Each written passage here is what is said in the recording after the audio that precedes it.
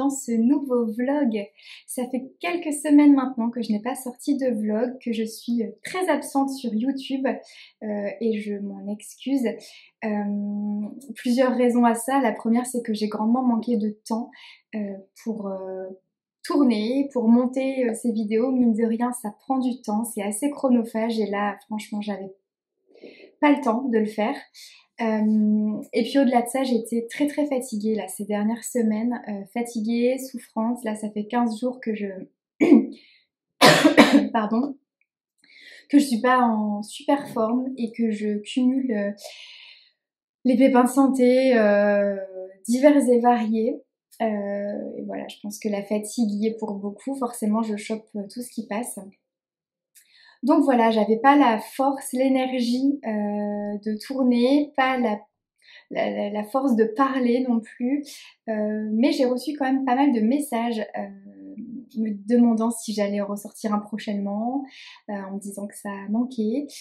Et donc ça m'a beaucoup touchée, ça m'a fait plaisir et je me suis dit que ben, j'allais quand même faire un petit effort du coup pour en sortir un cette semaine. je ne sais pas du tout là euh, en démarrant ce vlog si ce sera un gros vlog, un petit vlog. Petit, ça m'étonnerait parce que j'ai pas mal de choses à vous montrer. Alors, j'ai gardé euh, plein de paquets euh, pas ouverts ou partiellement seulement en me disant que j'allais, si j'avais le courage, je tournerais.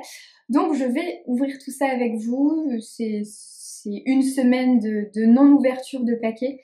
Euh, j'avais tourné plein de choses, malgré tout. J'ai pas de sortie de vlog, mais j'avais tourné des choses. J'ai tout effacé. je reprends de zéro. La seule chose que je vais vous montrer là tout de suite, c'est euh, les seules choses que je n'ai pas effacées. Ce sont des petits moments euh, à des événements auxquels j'ai pu participer au cours des dernières semaines, des choses que je ne vous ai pas encore montrées, donc euh, de voilà d'événements divers et variés auxquels j'ai pu assister au cours de ces dernières semaines. Donc je vous montre ça et je vous reprends juste après.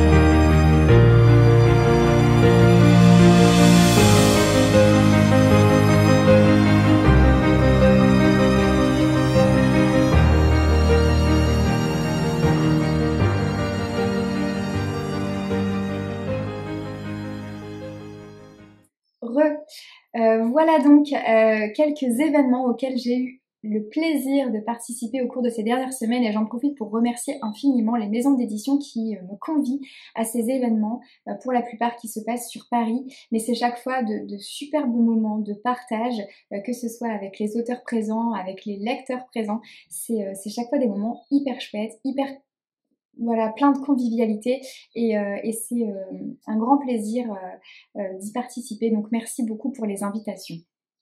On va maintenant ouvrir ensemble plein de choses. Alors il y a des choses qui sont déjà ouvertes, mais que j'ai laissées de côté parce que c'est arrivé cette semaine et je me suis dit que voilà, j'allais pouvoir vous les montrer. Premier ouvrage que je vous présente, il s'agit d'un ouvrage concernant le signe du zodiaque, en l'occurrence le taureau, de la collection Les couleurs du zodiaque, édité aux éditions First. Je sais pas si en termes de luminosité on est au top. Hmm. Il fait un peu gris-gris aujourd'hui et j'ai pas allumé la lampe. Bon, on va continuer comme ça, on verra. ça n'est pas tout à fait résolu. Donc, je disais, taureau. Taureau, ça n'est pas mon signe du zodiaque. Je suis euh, verso mais ça sera un des derniers signes à être publié. Donc euh, les éditions First m'ont gentiment proposé de m'envoyer un autre signe, et comme je suis ascendante taureau, je me suis dit que ce serait peut-être l'idéal de pouvoir euh, découvrir ce, signe-là, que ce serait malgré tout très intéressant. Alors, un signe astrologique ne signifie rien sans l'être qui l'incarne. Vous, en l'occurrence. Les mouvements des astres à l'intérieur du zodiaque forment ensemble une représentation symbolique de ce qui se passe en chacune ou chacun de nous, de nos pensées, de nos sentiments, de nos émotions, de nos désirs, de nos actes, ou bien sûr de notre psyché. Ainsi constituant un tout synthétique et cohérent où s'articulent harmonieusement les opposés de nos propres contradictions. Le zodiaque nous raconte toute l'histoire de l'être depuis sa naissance jusqu'à son accomplissement. Vous trouverez au fil des pages de cet ouvrage ce qui vous relie au ciel, à la nature et à vous-même pour mieux comprendre votre personnalité. Et en coloriant de superbes illustrations, vous entrerez dans les secrets de votre signe. Parce qu'il y a effectivement des euh, petits dessins comme ça, des illustrations à colorier.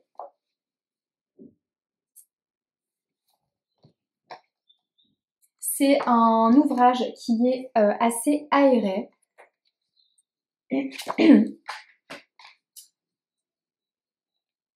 Parsemé, voilà, de, pages comme ça, avec des illustrations et des phrases.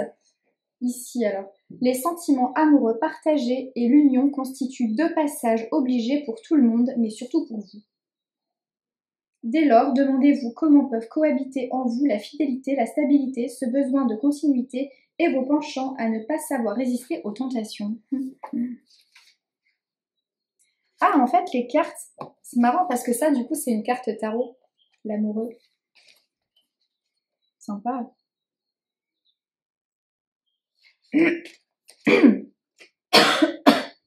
Bon, bah cool. Je me ferai un plaisir de découvrir cet ouvrage. Ensuite, on continue dans les ouvrages euh, un peu euh, développement perso et ésotérisme avec Se soigner avec l'eau de Daniel Kiefer, un ouvrage qui nous vient des éditions Jouvence. Euh, alors je suis, euh, je fais partie des partenaires des Sereines Jouvence cette année et donc on, a la possibilité de choisir un ouvrage à paraître dans le mois et donc moi j'avais choisi celui-ci pour le mois de février. bon il y a eu un petit couac dans les envois donc je l'ai reçu qu'en mars. Euh, et je, trouvais euh, l'idée très intéressante. L'eau est bien plus que l'un des quatre éléments présents sur notre belle planète bleue. Elle participe à la manifestation de la vie et tous les règnes en bénéficient à leur échelle. Depuis des millénaires, l'eau est au cœur des médecines traditionnelles du monde, offrant une ressource presque gratuite et incroyablement efficace. Vous vous demandez comment profiter de l'eau froide, chaude ou tiède, et de toutes ses vertus médicinales au quotidien? Cet ouvrage explore la manière dont l'eau est intégrée dans la naturopathie moderne et vous donne les clés pour transformer votre salle de bain en espace de balnéologie. Un guide complet qui, présente les effets exceptionnels de chaque pluie, douche, bain ou verre d'eau, tout en explorant leurs aspects symboliques et énergétiques, pour vous permettre d'améliorer votre santé et votre bien-être naturellement.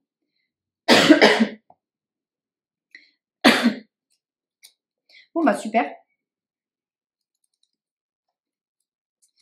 Super. Euh, ça, je vais le lire très rapidement début avril. Alors du coup, j'ai du retard.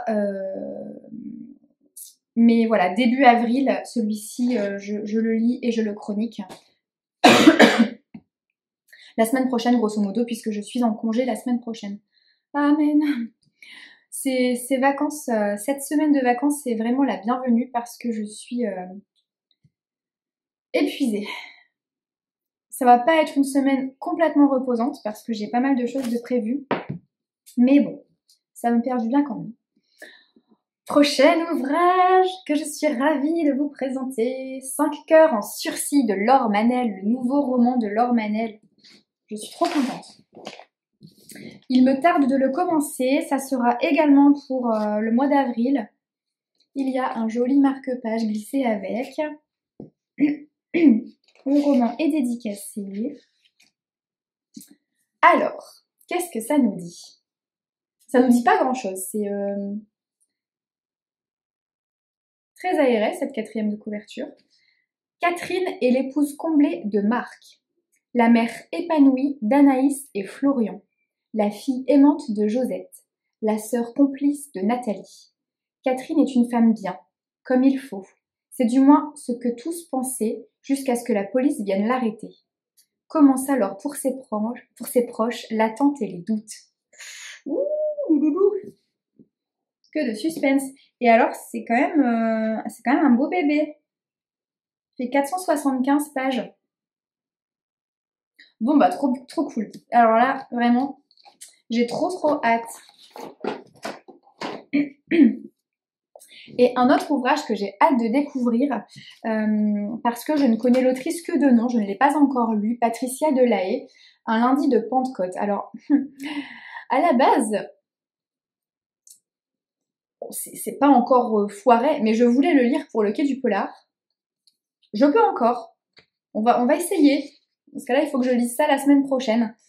Mais il y en a beaucoup que j'avais envie de lire pour le quai du polar et, que je n'ai pas lu. Rookie vous dit bonjour. Alors, donc, qu'est-ce que ça nous dit? C'est édité aux éditions Bellefond. Loïc le sait, un ogre habite ses pensées. Attiré par les enfants, le jeune homme de 20 ans pense pouvoir contenir la bête qui vit en lui. Mais ce lundi de Pentecôte 1974, la bête s'échappe. Une petite fille entre dans son champ de vision. Huit ans, robe blanche à cerise rouge. Son corps sera retrouvé deux jours plus tard. Loïc risque la peine de mort. Pour sa mère, Louise, son inculpation est une terrible erreur. Comment son fils, son tendre garçon qu'elle a élevé seul, pourrait être le monstre que l'on dit? Alors que la lame de la guillotine pèse sur le procès de Loïc, Mère et fils vont tisser ensemble une histoire difficile à croire. Mais à trop vouloir innocenter Loïc, Louise ne risque-t-elle pas de le conduire à l'échafaud? Eh bah dis donc. Bon bah voilà, trop cool. Il vient de paraître le 28 mars, tout comme le roman de Laure Manel. ensuite, bon bah ensuite on va commencer à ouvrir les paquets. Euh, alors, premier paquet qui nous vient des éditions Pocket. Je suis vraiment désolée pour cette toux, c'est pénible aussi bien pour vous que pour moi. Alors, c'est une réception surprise, c'est un roman que je n'ai euh, pas euh, réclamé particulièrement. et pour que c'est un tome 2. Donc il va falloir que je me procure le tome 1. Des meurtres pour lâcher prise de Karsten Dus. C'est un tome 2.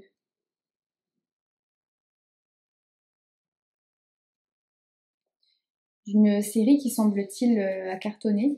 Je... je ne sais pas à quoi ressemble le tome 1, j'en ai. Ça me parle pas. Alors. Le tome 1, c'est des meurtres qui font du bien. Bon, je vais pas vous lire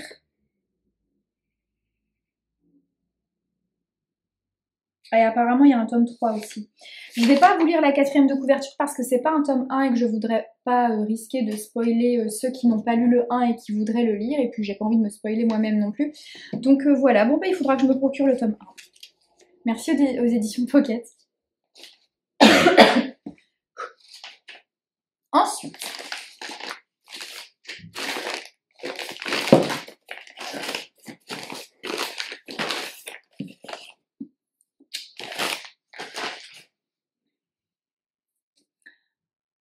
couverture. Trop beau. Alors, Rendez-vous sur l'île de l'horloge, c'est un roman de Meg Schaffer, édité euh, chez Nami. Elle est trop belle cette couve, j'adore. Une lettre d'amour aux livres et à ceux qui les écrivent. Hmm. Mes chers lecteurs, j'ai écrit un nouveau livre. Il n'existe qu'en un seul exemplaire et je prévois de l'offrir à quelqu'un de très intelligent qui a le courage de faire des vœux. Certains de mes plus intrépides lecteurs recevront aujourd'hui une invitation spéciale. Lorsque Jack Matterson, l'auteur de la série à succès L'île de l'horloge, annonce qu'il organise un concours pour faire gagner son dernier manuscrit après de longues années de silence, il ne laisse personne indifférent. Collectionneur, lecteur passionneur, lecteur passionné ou individu motivé par l'appât du gain, tous souhaitent remporter le mystérieux texte. Et pour Lucinaire, fan de la première heure criblée de dettes, la chance de mettre la main sur le livre le plus convoité du monde et la lueur d'espoir dont elle n'osait rêver. Mais le vieil homme fantasque qui vit en ermite sur son île, réplique exacte de celle de ses romans, a plus d'un tour dans son sac et prépare en secret le dénouement de sa propre histoire. Un ultime, rebondissement qui pourrait bouleverser bien des vies. Trop cool. Trop cool. Eh ben j'ai hâte. Je fais une pause, je vais mettre de la lumière parce que j'ai l'impression qu'on ne voit rien. Alors je sais pas si c'est vrai ou pas, et si c'est juste sur mon petit écran qu'on ne voit rien, mais euh, je vais mettre un petit coup de lumière. Voilà. Bon, je sais pas si c'est mieux pour vous, mais euh, ça va rester comme ça. Alors, on continue avec un roman qui nous vient des éditions Calman Levy. J'ai déjà euh, ouvert. Yeah L'invité mystère. Trop cool. Il est paru euh, cette semaine euh, aux éditions euh, Calmen Levy, du coup, L'invité mystère de Nita Prose. Ça nous dit On peut dissimuler la vérité un certain temps, mais elle ne restera pas enfouie pour toujours. Molly Gray est une femme de chambre tout sauf ordinaire. Grâce à son souci du détail et sa maîtrise des bonnes manières, elle a gravi les échelons au sein du somptueux hôtel Regency Grand, mais sa vie est bouleversée lorsque J.D. Grimthorpe, illustre auteur de polar, tombe raide mort en plein milieu du salon de thé de l'établissement. Alors que l'affaire menace la réputation du Regency Grand et que tous les employés sont des suspects, Molly se rend compte qu'elle a un lien important avec la victime. La clé de cette énigme se trouve nichée dans son passé, à l'époque où, enfant, elle accompagnait sa grand-mère dans le mystérieux manoir des Grimthorpe. Afin d'aider ses amis de sauver l'hôtel et d'empêcher un nouveau drame, Molly va se lancer corps et âme dans cette nouvelle enquête haute en couleurs.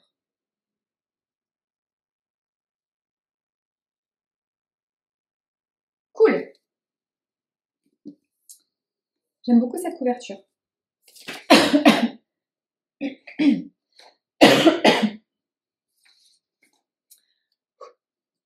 Alors, ensuite, euh, un gros paquet qui est tout cabossé et tout défoncé, euh, qui nous arrive des éditions 10-18, que je remercie euh, infiniment pour l'envoi de ce colis. J'étais invitée à un événement il y a une semaine de ça, et je n'ai pas pu y aller parce que j'étais souffrante. Et du coup, ils m'ont fait parvenir une, toute une sélection d'ouvrages qu'ils ont remis aux participants lors de cet événement. Et ça me fait très très plaisir parce que je ne connais pas encore les éditions 18. Enfin, je les connais de nom évidemment, mais je n'ai voilà, je n'ai pas de lien avec eux, je ne suis pas partenaire et je n'ai finalement que très très peu d'ouvrages des éditions 18 dans la bibliothèque. Donc euh, euh, voilà, ça me fait plaisir de pouvoir découvrir. C'est un paquet absolument énorme. On est bon. Alors, bah dis donc, toute une toute une sélection hyper chouette un stylo et un tote bag. Un monde à portée de page, c'est beau. Trop chouette. Trop trop chouette. Alors, qu'est-ce que ça nous dit? Le premier ouvrage de la sélection, c'est Des filles comme nous de Daphné Palazzi Andreades, Andreades, Andreades. Je ne sais pas comment ça se dit. Dans le quartier hétéroclite et vibrant du Queens, à New York, des jeunes femmes tentent de conjuguer leurs origines métissées avec la culture américaine dans laquelle elles ont grandi. C'est ici qu'elles se jurent d'être meilleures amies pour la vie. Débordantes d'énergie, ces filles arpentent New York, chantent Maria Carey à tue-tête, s'éprennent de garçons indifférents et brisent des cœurs transis tout en essayant d'honorer l'image lisse de filles obéissantes que leur impose leur mère. Mais en grandissant, un fossé se creuse. Là où certaines restent fidèles à leurs racines, d'autres s'évertuent à toucher les étoiles. Cool. C'est un petit ouvrage, il fait 237 pages. Il paraît tout fin comme ça, mais ouais, je pensais pas 237 pages du coup. Ensuite,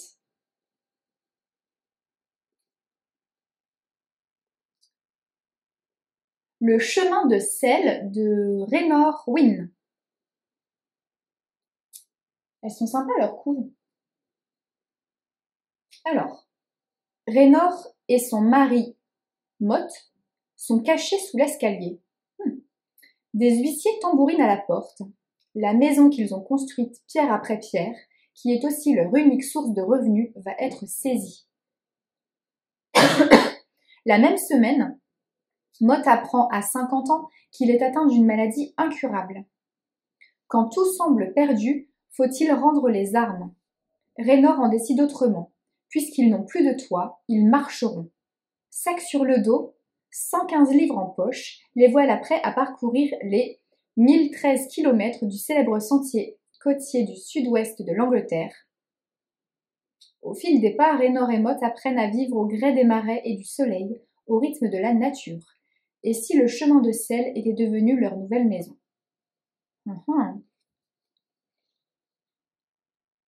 400 pages. Chouette.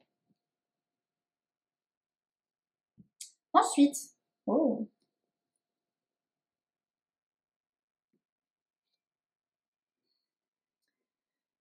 Créature du petit pays de Juea Kim. « 1917. La Corée est sous occupation japonaise. Alors que la famine menace, Jade est vendue par sa famille à une école de courtisanes. Elle rencontre le fils d'un chasseur de tigres, Jungo, qui survit en mendiant dans les rues de Séoul et se lie avec lui d'une profonde amitié qui changera leur vie. Une fois adulte, Jade devient une artiste convoitée aux nombreuses perspectives, tandis que Jungo est entraîné dans la lutte révolutionnaire pour l'indépendance. Et Jade devra choisir entre suivre ses propres ambitions ou tout risquer pour lui. Alors ça, ça me tente. Euh, ça me tente. Il fait euh, ben, 480 pages. Ça, ça me tente beaucoup encore plus que les deux autres. Ensuite,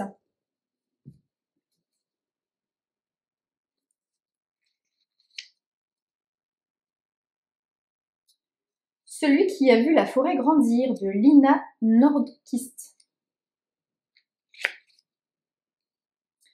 1897. Unis, est contrainte de fuir la Norvège avec son compagnon et son bébé. Après avoir traversé les montagnes, la famille arrive en Suède, dans la province reculée du Hälsingland, et s'installe dans une ferme délabrée à l'endroit le plus ensoleillé de la forêt. C'est ici qu'ils construiront leur vie, à la merci d'une nature splendide et terrible qui leur donnera autant qu'elle leur prendra. 1973, dans la même maison, deux veuves se font face. Entre elles se dressent les secrets d'une famille dont la rudesse et la tendresse épousent celles des arbres qui les encerclent.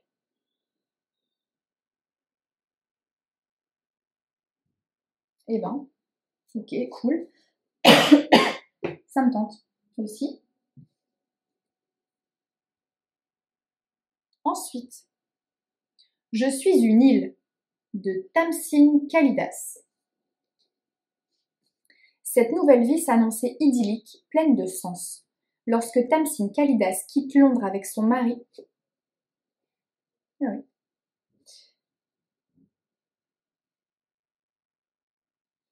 Je disais. Lorsque Tamsin Kalidas quitte Londres avec son mari pour emménager sur une île des Hébrides, elle imagine une petite ferme redevenue prospère, une famille à fonder, des amis. La réalité portera son lot de désillusions, tandis que l'argent vient à manquer et que le couple se brise. Au cœur de cet archipel d'Écosse, la nature peut se faire hostile, et il n'est pas aisé pour une femme seule d'y trouver sa place. Mais l'île et la mer qui l'entourent savent aussi révéler leurs trésors à ceux qui les méritent.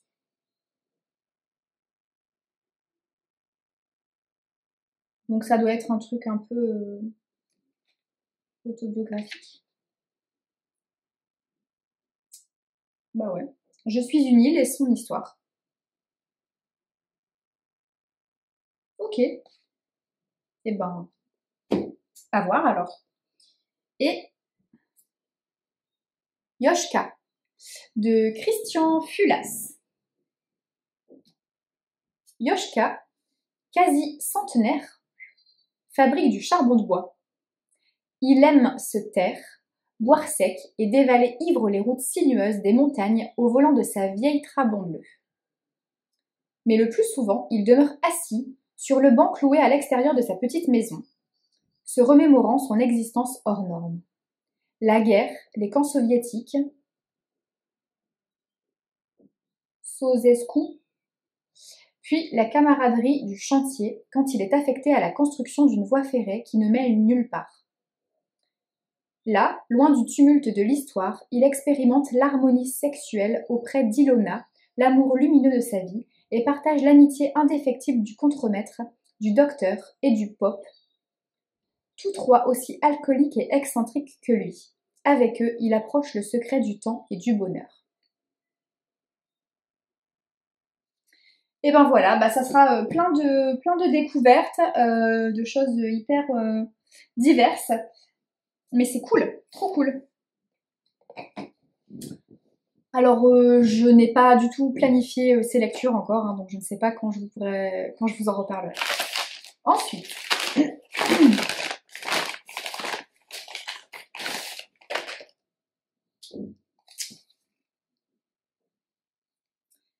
Et toi, t'en veux des mômes? Huit parcours autour du non-désir d'enfant, de Laura Bois et Nad, aux éditions Le Duc Graphique. C'est avec sincérité que huit personnes témoignent de leur choix de rester sans enfant, une décision évidente ou évolutive, semée de doutes et de questionnements, contraire au schéma culturel et souvent rejetée par le cercle familial. À travers la, la pluralité des voix, on découvre d'autres réalités. La libération face aux injonctions sociétales, le faire famille autrement, l'épanouissement certain et surtout le non-désir d'enfant comme un chemin possible et légitime. Voilà. Cool, bah j'ai hâte. Ensuite,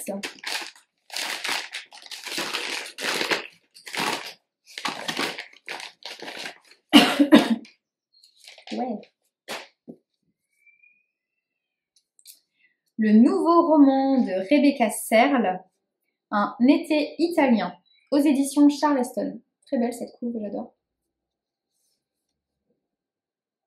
Positano. Ses ruelles pittoresques et ses panoramas à couper le souffle. Depuis sa plus tendre enfance, Katie a entendu sa mère parler de ce paradis perdu, ce petit coin d'Italie où elle a vécu le plus bel été de sa vie 30 ans plus tôt. Alors, lorsque Carole tombe brutalement malade, mère et fille se lancent dans l'organisation d'un voyage sur les traces de sa jeunesse.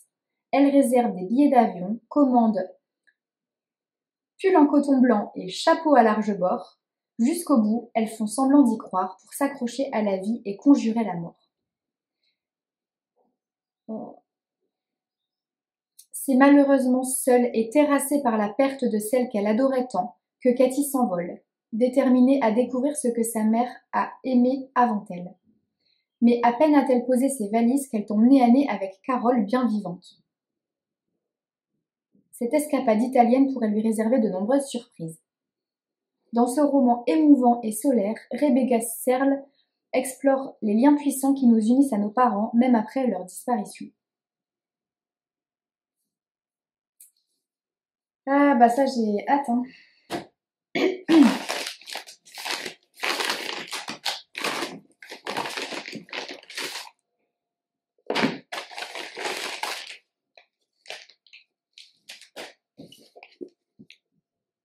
Deux romans pocket, deux polars. Trop cool Cécile Cécile Cabanac, le roman sorti l'année dernière en grand format et qui paraît cette année en poche. Il est sorti début mars en poche. Et donc là, en fait, je suis en plein dilemme parce que je veux lire un roman de Cécile Cabanac avant les quais du polar. La question est, est-ce que je lis le grand format de cette année ou est-ce que je lis celui-ci?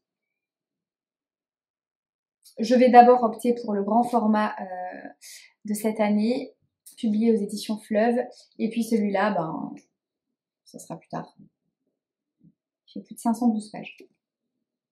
Le chaos dans nos veines. N'est pas à la portée du premier venu. Deux fois, encore moins. Et pourtant, les découvertes de cadavres s'enchaînent dans cette maison de Dordogne.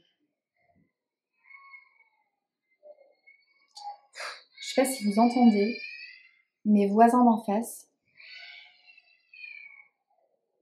Est-ce qu'on peut dire à ces gamins d'arrêter de brailler?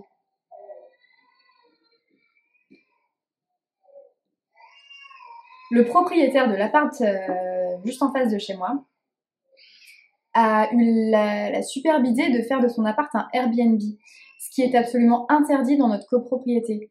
Et il y a toujours des gens ultra bruyants et qui n'en ont absolument rien à foutre du voisinage.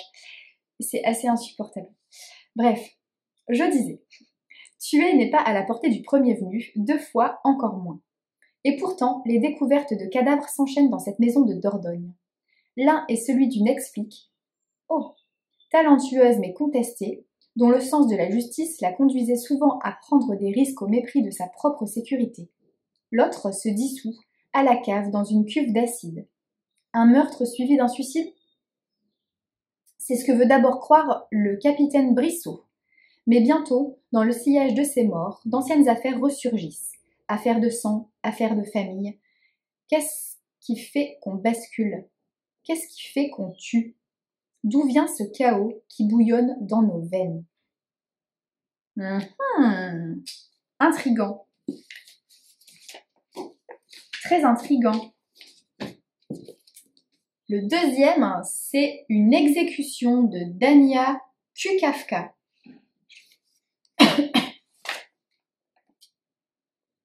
Sélection prix Nouvelle Voix du Polar.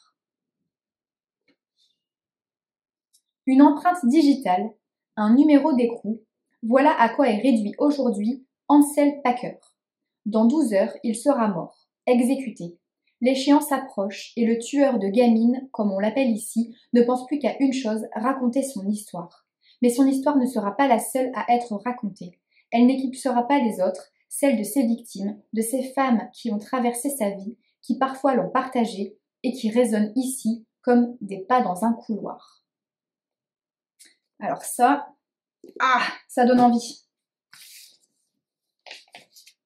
Bon, ensuite. ensuite, celui-ci. Un paquet qui vient des éditions HarperCollins. Et qui me met en joie.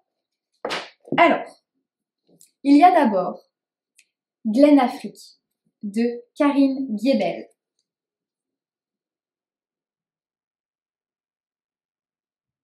On aime, on adore. Et ça, c'est le nouveau qui vient de paraître en grand format aux éditions Récamier.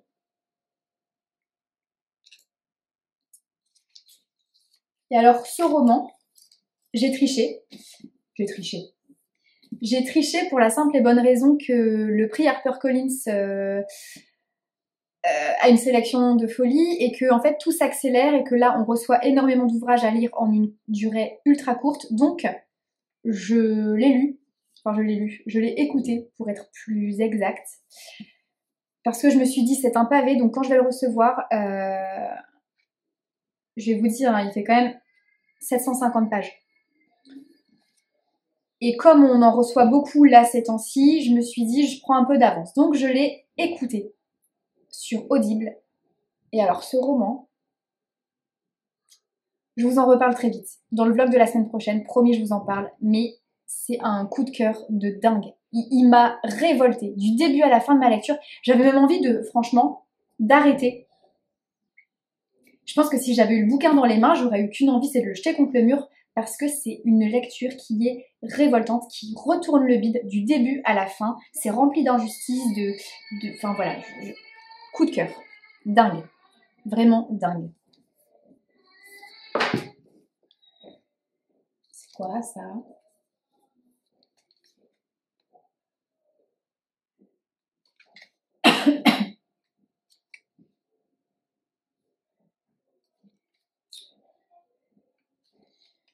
Ah, ils nous font envie avec leur catalogue, hein. Catalogue HarperCollins. Ah. Ça, c'est tous ceux que je, que je dois lire pour le prix. 1, 2, 3, 4, 5, 6, 7, 8, 9, 10. Ouais, ça doit être ça. Jusqu'à maintenant, j'en ai lu 1, 2, 3, 4, 5. J'en ai lu 5. Euh, pour lire celui-ci, La Cité des rêves de Don Winslow, il faut lire le premier tome qui est La Cité en flammes que j'ai commencé, mais je n'accroche pas du tout. Euh, je, vraiment, j'ai beaucoup de mal. Je j'ai aucune envie d'y revenir quand je le pose et euh, je j'hésite très très fortement à abandonner. Donc voilà. À suivre. En tout cas, franchement, cette sélection est dingue. J'ai fait des, découvertes super et euh, c'est difficile de classer ces romans. Bon bref, dans ce paquet, il y a un tote bag du coup euh, à l'effigie de Karine Giebel et une lecture qui me fait extrêmement envie le nouveau roman poche de Salvatore Mini, Désobéissance. Je vais quand même vous lire peut-être la quatrième de couve de Glen Afrique, ça peut être pas mal. Donc on revient à Glen Afrique. Je suis un idiot, un imbécile, un crétin. Je n'ai pas de cervelle. Léonard se répète ce refrain chaque jour et chaque nuit, une suite de mots cruels qu'il entend dans la cour, dans la rue, son quotidien. Léo, le triseau, Léonard, le bâtard. Léonard n'est pas comme les autres, et il a compris que le monde n'aime pas ceux qui sont différents. Alors il rêve parfois de disparaître, être ailleurs, loin d'ici, à Glen Afrique. Mais les rêves de certains sont voués à finir en cauchemar. Ah, de relire ça, ça me... Ensuite, Salvatore Mini, donc j'ai très envie de le lire, donc ça me fait trop plaisir qu'il soit dans cette sélection. À son retour d'un voyage d'affaires, Guillaume voit son existence basculer. Son ex-femme et sa fille, Mia, sont retrouvées entre la vie et la mort. Malgré les soins prodigués par les secours, Mia finit par décéder. Oh. La perte brutale des deux êtres qui lui étaient le plus chers est un tournant pour Guillaume.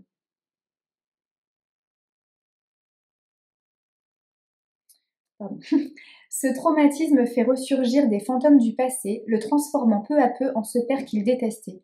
Guillaume décide alors de reconstituer sa famille à tout prix. Mais jusqu'où sera-t-il prêt à aller? Une histoire sombre qui prend place à Bruxelles dans une ambiance à la fois oppressante et mystérieuse. Waouh Waouh Ça me donne trop envie. Ça me donne trop envie. Ça a l'air euh, fou terrible. Bon, cool. Cool, cool, cool.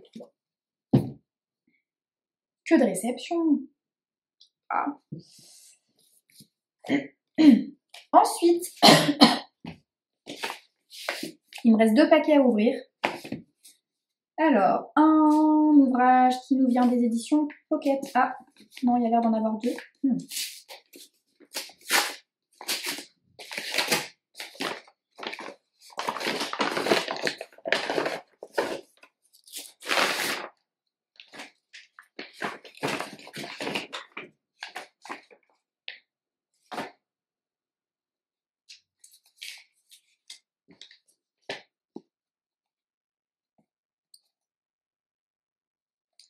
Alors, attention, révélation. Les gars, je suis en retard sur les révélations. Il faut vraiment que je m'y mette la semaine prochaine. Alors, les nageurs de la nuit. Pologne 1980. Ludwig et Janus, étudiants, tombent amoureux autour d'un roman interdit de James Baldwin. Mais à Varsovie, sous le joug d'un parti soupçonneux, leur relation doit rester clandestine. Alors que Janus veut rentrer dans le rang du parti, Ludwig s'insurge contre la politique injuste de son pays. Chacun d'eux se retrouve confronté au choix d'une vie. Faut-il trahir ou se trahir pour protéger ceux qu'on aime? Un roman de Thomas Jedrowski qui fait 250 pages, un peu moins de 250 pages. Non, mais quand je vois la quantité. La quantité, euh, je, fais comment moi pour lire tout ça? Mon Dieu Je ne m'en plains pas, hein. attention. Claudia ou le scandale de la bonne déesse? De Sophie Malik Prunier. Alors, Rome 62 avant Jésus-Christ. Peu de familles ont la puissance du clan Claudie, et peu de femmes la beauté sulfureuse de Claudia. Claudia Metelli.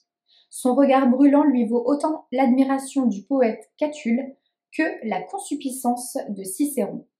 Quand le scandale politico-religieux de la bonne déesse éclate, les Claudies sont en première ligne. On accuse le frère de convoiter la femme de César, la sœur de soutenir le vice, alors que la République vit ses dernières heures, un procès public s'annonce inévitable. Claudia doit faire feu de tout bois pour sauver ce qui peut l'être.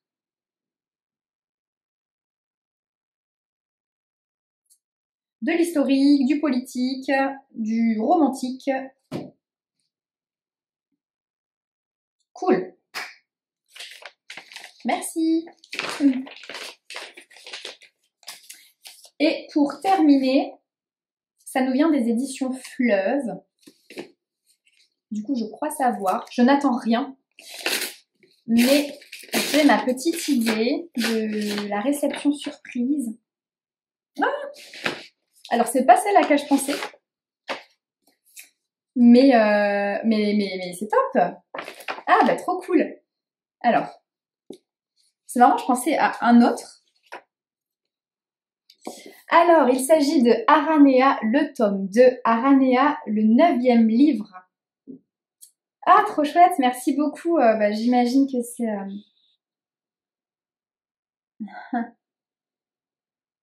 ah, trop sympa.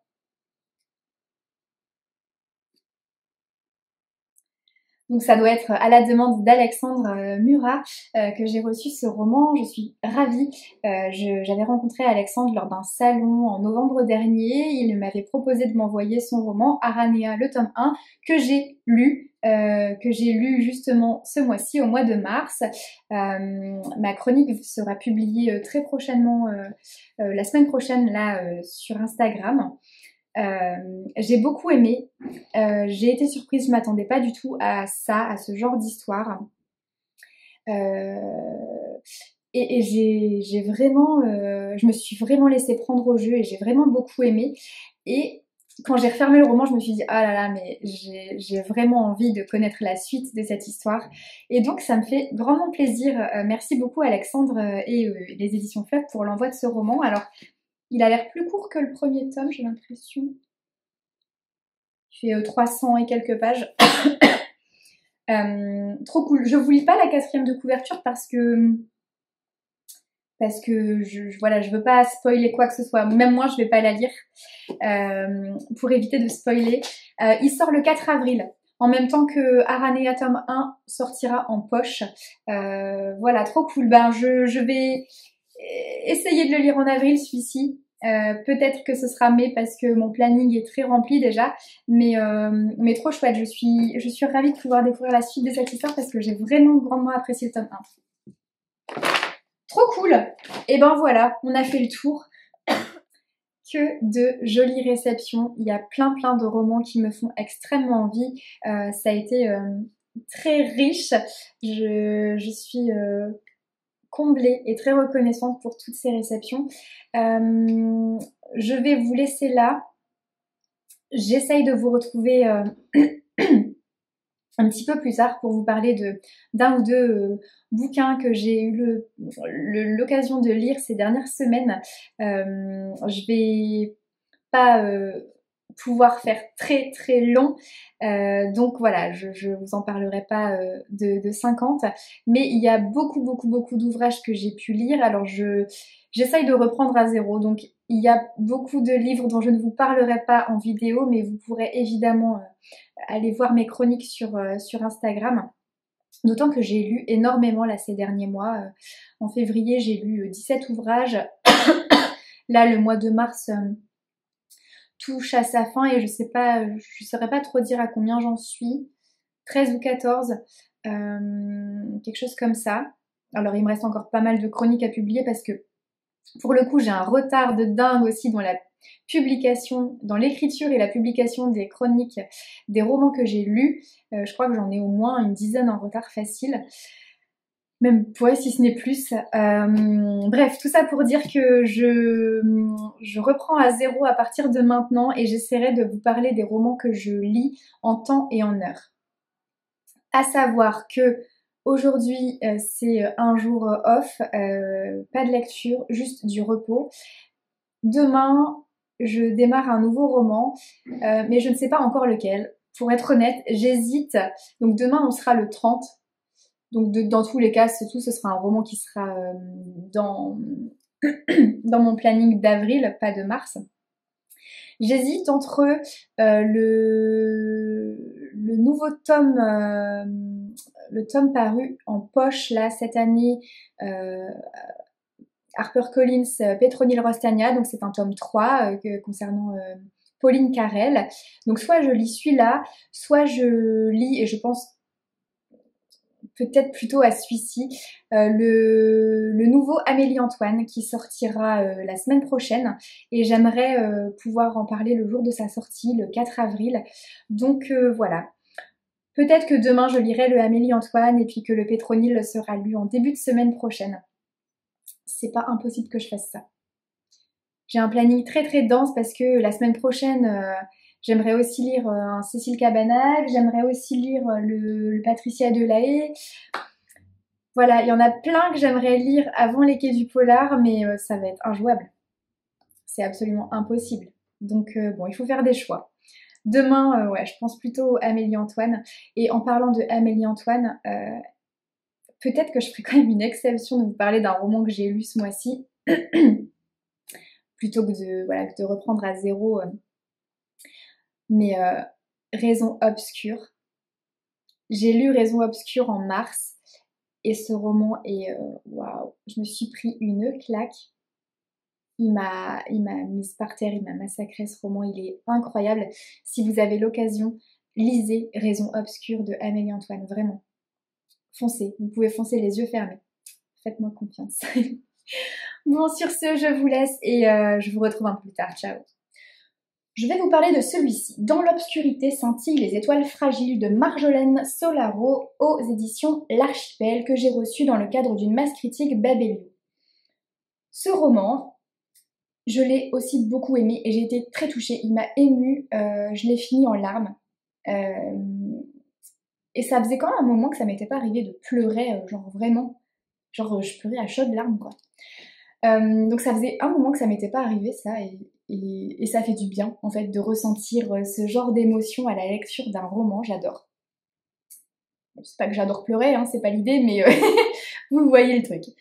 Euh, alors, dans ce roman, on rencontre Solal. Solal est un collégien de 13 ans euh, qui doit faire face à une annonce euh, dramatique puisqu'il vient d'apprendre que, que s'est suicidée. Steren, c'est une jeune fille, une camarade de classe de Solal et depuis quelques temps, quelques semaines, ils s'étaient liés d'amitié, ces deux-là. Mais alors, une vraie belle amitié, sincère, mais secrète. Personne euh, n'était au courant de cette amitié, que ce soit euh, leurs camarades de classe, que ce soit leurs euh, proches. Donc ils doivent faire face à ce deuil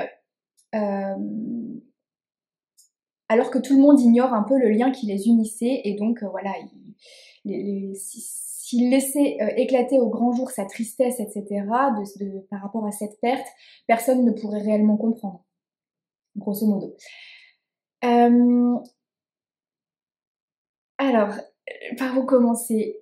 Euh, Dans ce roman, clairement, il y a un avant et un après, un avant euh, et un après ce drame, cette tragédie, après euh, et en fait, le, roman est construit comme ça. Il y a des chapitres, il y a une alternance de chapitres, passé, présent, avant, après ce, drame et ce, et ce, suicide de Steren.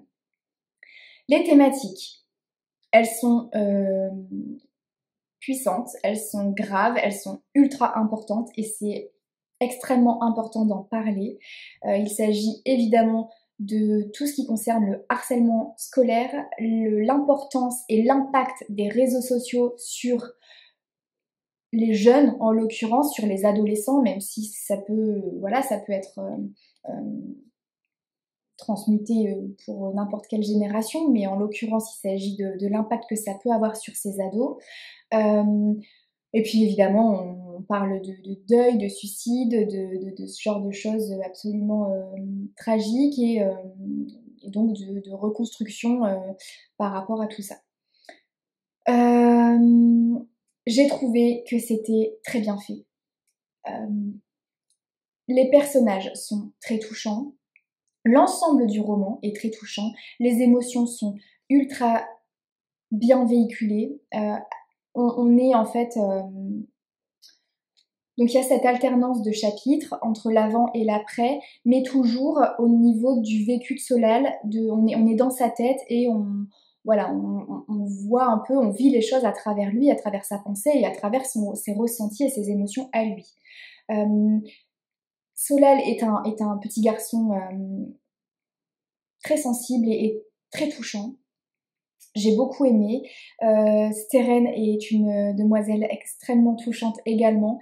La plume de ce roman est euh, parfaite. C'est-à-dire qu'elle est à la fois simple, fluide et, euh, tout en sensibilité, tout en douceur, tout en poésie par moments aussi. J'ai trouvé ça vraiment top d'aborder des, des, choses aussi graves et aussi profondes avec autant de tendresse et de, et de douceur.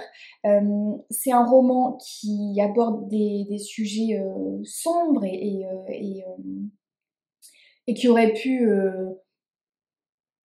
être juste triste, mais, mais non, il n'est pas juste triste. Il y a aussi finalement beaucoup de, de, de touches d'espoir et de touches de lumière voilà, je, j'ai été vraiment très touchée par ce roman et, comme je le disais, je l'ai fini en larmes, c'est pas pour rien, c'est vraiment que, qui m'a émue. Et euh, je, pense qu'il est ultra important et qu'il devrait se retrouver entre toutes les mains et que, qui devrait euh, même euh, peut-être euh, être proposé dans des écoles, dans des collèges, dans des lycées, parce que, parce que les, les thématiques sont ultra importantes et que c'est, voilà, c'est important d'en parler. ça permet à la fois de se remettre en question pour pour ceux qui, qui, ont tendance à harceler, les harceleurs, ça peut permettre une remise en question. Pour ceux qui sont victimes de harcèlement, ça peut leur montrer qu'ils ne sont pas seuls. Et, euh, et puis peut-être donner des clés. De... En fait, c'est ça aussi, c'est qu'à la fin du bouquin, j'ai trouvé ça super, super bien. Il y a euh, tout un... Alors attendez, hop toutes des, des, informations utiles. Ça, donc euh, aussi bien des numéros de téléphone, des sites internet. Euh, euh, c'est hyper pertinent et, et puis il y a des choses hyper touchantes aussi à la fin où on se retrouve chez les Tadeo, donc dans la famille de Solal, avec des recettes, une playlist, des, des films, jeux vidéo, livres, etc. Enfin, c'est hyper mignon. J'ai trouvé que l'ensemble était ultra bien fait. Euh, voilà, j'adore cette couverture aussi, soit dit en passant. Euh, je vais rien dire de plus, mais j'ai beaucoup aimé. Euh, puis comme finalement chaque roman de la collection Instant suspendu des éditions euh, L'Archipel, je, trouve qu'ils sont à chaque fois ultra bien faits leurs romans. J'adore. Voilà. Euh, je, coupe deux minutes et je reviens. Me revoilà. je prends le suivant.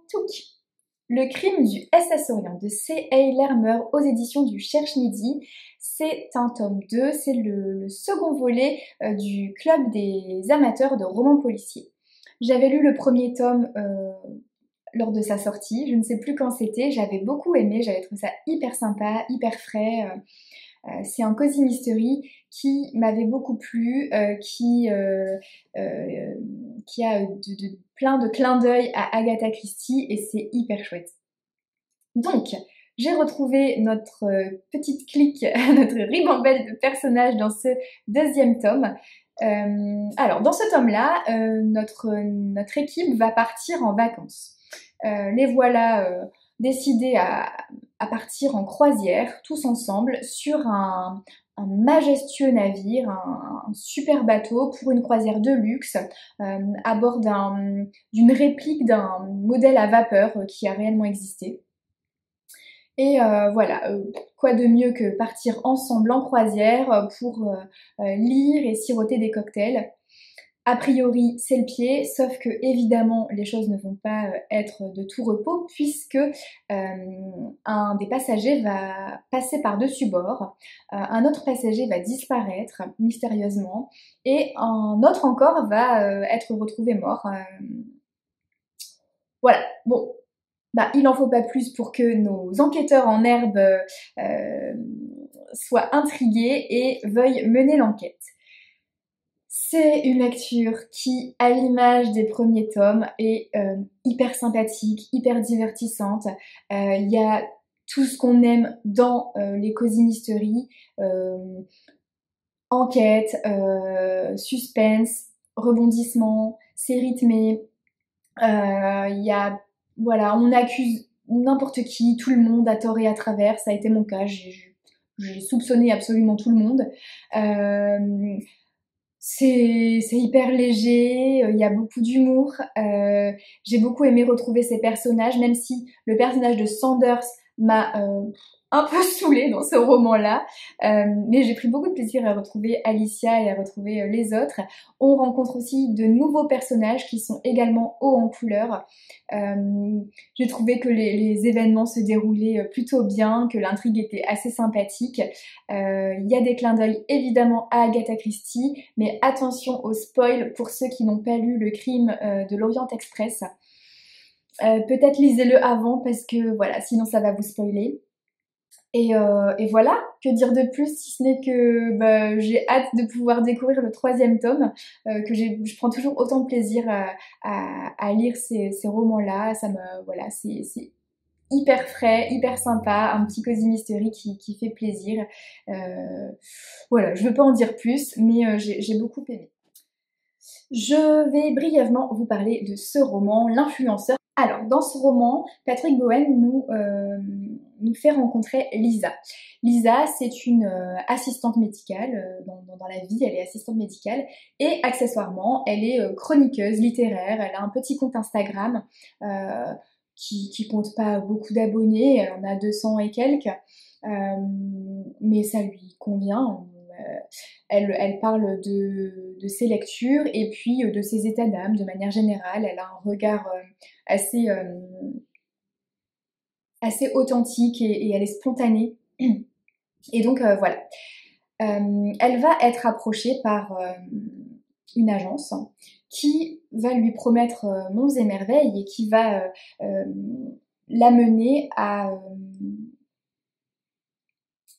pouvoir prétendre à être une grande influenceuse euh, avec une grosse communauté euh, et donc à, à devenir euh, célèbre et à gagner de l'argent et voilà, grosso modo, on va lui promettre une ascension fulgurante et, et, rapide et tout ça, tout ça. Oui, sauf que ça n'est pas sans danger. Point. je m'arrête là pour l'intrigue, je vais pas en dire plus que ça. J'ai adoré. J'ai adoré euh, parce que dans ce roman, il y a tout. Tout ce que... il y a tout. Ça, ne veut rien dire. Je m'explique. Euh, déjà, on, nous parle euh, d'une d'une. Euh, forcément, ça me parle, forcément, ça fait écho. Au-delà de ça, on est dans un... Il y a beaucoup d'éléments euh, du milieu euh, médical, paramédical. il y a plein de clins d'œil sur des services des choses, des, anecdotes de choses qui peuvent se passer aux urgences. Euh, moi, j'ai des interventions aux urgences. En tant qu'infirmière euh, en psychiatrie, euh, j'ai des interventions aux urgences. Et donc ça, c'est pareil, ça fait complètement écho et je... Voilà, et puis il y avait même des termes utilisés dans lesquels je, me retrouvais. Donc moi, je visualisais le service des urgences de chez moi. et ça, j'ai trouvé ça trop chouette. Et puis, il y a aussi sans trop en dire, il y a aussi des, références à la psychiatrie. Euh, et je vais pas en dire euh, plus parce que je veux pas spoiler, euh, mais j'ai trouvé ça super, bien fait, pertinent et, et je, je, peux malheureusement pas en, je peux pas en dire plus parce que voilà, mais mais voilà, en tant que professionnel euh, qui travaille en psychiatrie, euh, j'ai trouvé ça super, parfait, très très chouette déjà d'y avoir pensé, euh, d'avoir et puis de la, façon dont c'est raconté. Pour moi, elle est ultra pertinente et c'est bien joué. Et, et à la fois, il y a des choses euh, euh, qui sont très voilà très justes et en même temps on est malgré tout manipulé aussi à ce moment-là et voilà je, je, peux malheureusement pas vous expliquer mes propos parce que ça serait tellement dommage de de voilà de, de spoiler des choses mais euh, j'ai trouvé ça génial. Et au-delà de ça il y a même un clin d'œil à Patrick Bruel. Non mais quand même. Enfin un clin d'œil, voilà, il, juste il est cité là-dedans. Et je me dis, mais euh, j'aime beaucoup Patrick Bruel, c'est un artiste que j'admire euh, euh, vraiment beaucoup depuis longtemps. Et je ne m'attendais pas du tout à ce que son nom soit mentionné dans ce roman. Alors c'est tout à fait anecdotique, hein, mais je me dis, mais waouh, c'est trop, trop rigolo. J'ai l'impression qu'il y a que tout, tout ce que j'aime dans la vie, tout ce que j'apprécie et tout, tout, tout et ben c'est réuni là-dedans. dans un thriller, en sachant que moi je me, mets au thriller depuis, au polar thriller depuis un, an et demi passé là maintenant, mais je, ça devient un de mes, un de mes genres favoris et c'est ultra bien fait. C'est-à-dire que le récit est rythmé, vraiment, euh, c'est hyper dynamique, on s'ennuie pas un seul instant et, et, le suspense est maintenu tout le temps et on a, voilà, on, est complètement pris dans l'histoire. Euh, j'ai trouvé que les références aux réseaux sociaux sont pertinentes, c'est-à-dire que euh,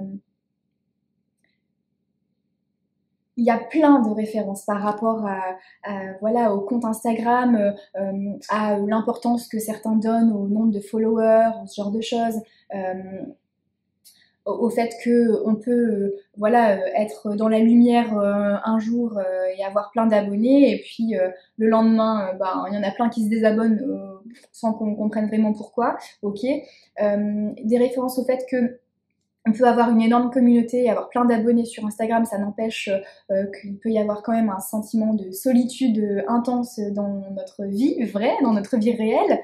Euh, et malgré ça, il y a aussi malgré tout un, petit parallèle qui est fait aux, rencontres aussi qui peuvent être aux rencontres réelles, je, veux dire, de, par, qui sont faites grâce aussi à, euh, à, ça, aux réseaux sociaux, euh, et des rencontres qui, qui, qui, prennent sens dans la vraie vie et, euh, avec des personnes qui finalement peuvent un peu devenir une sorte de, de, famille comme ça, un peu précieuse. et en fait, il y a vraiment de tout et il y a des questionnements et des, des, choses hyper pertinentes par rapport à ça, aux réseaux sociaux et à l'impact de, ça. Et, il y a d'ailleurs... Euh, en fait, il y, a, plein d'endroits que j'aurais pu relever pour des citations ou ce genre de choses que j'ai trouvé euh, pertinents, mais même là, euh, on s'en fiche des gens qui se désabonnent ou qui pètent des câbles sur toi. Tes chiffres ne sont pas tes notes à l'école, ils ne reflètent pas ta valeur, sois toi-même. Ça, c'est une phrase, mais c'est une phrase parmi tant d'autres dans le bouquin. Et il y a plein de références comme ça dans, le livre que j'ai trouvé vraiment très pertinentes. Euh, on évoque aussi euh, ce genre de, personnes qui... Euh, enfin, ouais, ce genre de personnes. Il y en a beaucoup dans le bouquin qui, font ça, mais qui créent un peu des cancans, qui créent du scandale, des, dramas pour, pour exister, pour faire le buzz, pour gagner en visibilité, en followers et compagnie, et tout est monté de toutes pièces. Euh, et les uns se servent des autres pour euh, grandir. Enfin voilà, voilà, c'est euh, aussi évoqué dans ce bouquin. Au-delà de ça, j'ai trouvé que l'intrigue était incroyable. Et la fin, j'ai adoré la fin. Et, en fait, plus j'avançais dans l'histoire, et plus je me disais, mais je, suis sûre que je serais déçue par la fin.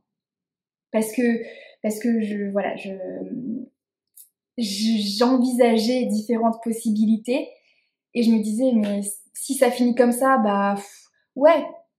Mais voilà. Et en fait cette fin euh, je m'y suis pas attendue une seconde. Je l'avais pas envisagée.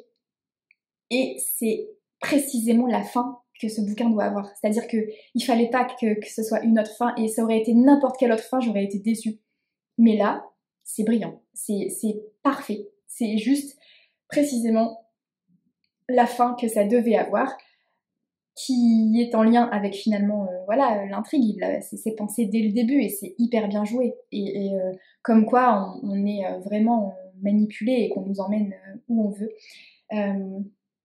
J'ai beaucoup aimé découvrir Patrick Bowen. J'ai échangé quelques mots avec lui en, privé lors de ma lecture et à la fin de ma lecture et ça a été un plaisir. C'est vraiment quelqu'un de de très chouette qui est médecin urgentiste dans la vie et donc il y a toutes les, références euh, qu'il y a aux urgences, etc. Il les a piochées de, de ce qu'il vit au quotidien avec ses collègues et, avec son équipe et, euh, et, on sent que c'est vécu et j'ai trouvé ça génial et, euh, il y a des choses que moi j'ai aussi vécues et du coup je trouve ça hyper sympa.